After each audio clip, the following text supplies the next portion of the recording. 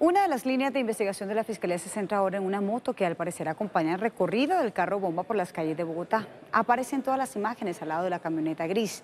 La moto es conducida por un hombre que lleva como parrillera a una mujer.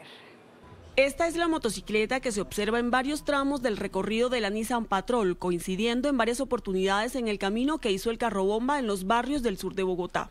En las imágenes se observa una moto tipo urbana de aproximadamente 200 centímetros cúbicos de color negra, en la que se movilizan un hombre de chaqueta negra y al parecer una mujer de chaqueta fucsia. Las autoridades investigan si los conductores están involucrados con los hechos ocurridos el pasado jueves en la Escuela General Santander. La primera vez que se observa la moto es en el recorrido del barrio San Carlos, en la carrera 53 con calle 18 sur de Bogotá. En el video entregado por las autoridades se ve la Nissan Patrol y detrás la motocicleta.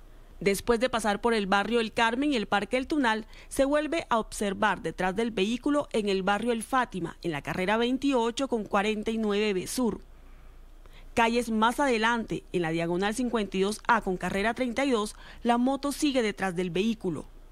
Otros videos que no fueron entregados por las autoridades y que obtuvo noticias RCN, se observa una vez más la motocicleta en la diagonal 49A Sur con 49 delante la Nissan plateada y dos motocicletas más.